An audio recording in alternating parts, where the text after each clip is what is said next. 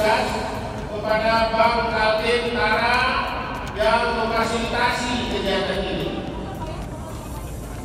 dan seluruh karyawan yang bekerja. Dan yang paling penting adalah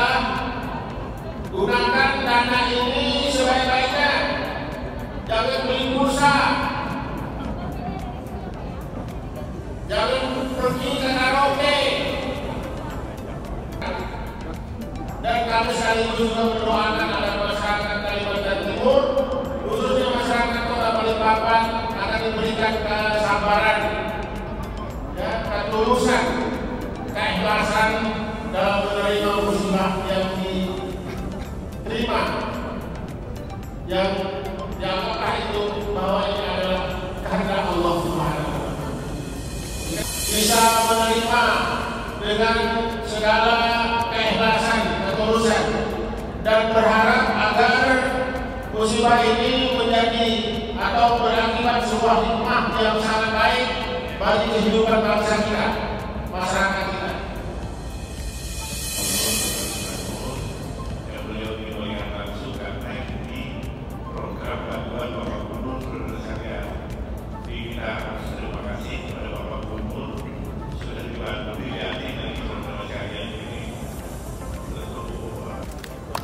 Oi, gols